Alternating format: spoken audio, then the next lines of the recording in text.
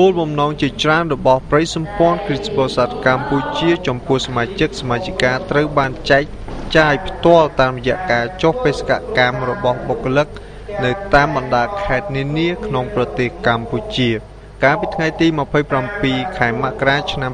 2011លោកទួនសុផលប្រធានការិយាល័យប្រិយសម្ព័ន្ធគ្រីស្ទបរិស័ទកម្ពុជា បានចុះបេសកកម្មទៅខេត្តកោះកុងក្នុងគោលបំណងចែកចាយផែនការសកម្មភាពរបស់ប្រិយសម្ព័ន្ធគ្រីស្ទបរិស័ទកម្ពុជា ប្រចាំឆ្នាំ2011ជូនដល់សមាជិក និងមិនមែនសមាជិកចំនួន23នាក់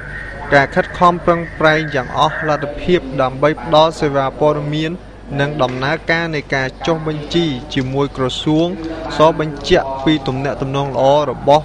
ប្រិយសម្ព័ន្ធគ្រីស្ទបរិស័ទកម្ពុជាជាមួយក្រុមជំនុំអង្គការនិងជាពិសេសជាមួយក្រសួងដែលពាក់ព័ន្ធរបស់រាជរដ្ឋាភិបាលជាចុងបញ្ចប់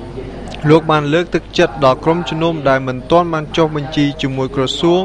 ឲ្យទៅចុះបញ្ជីនិងបានបកស្រាយចម្ងល់របស់សមាជិកតាក់ទងទៅនឹងច្បាប់ទម្លាប់ក្នុងស្រុកខ្មែរ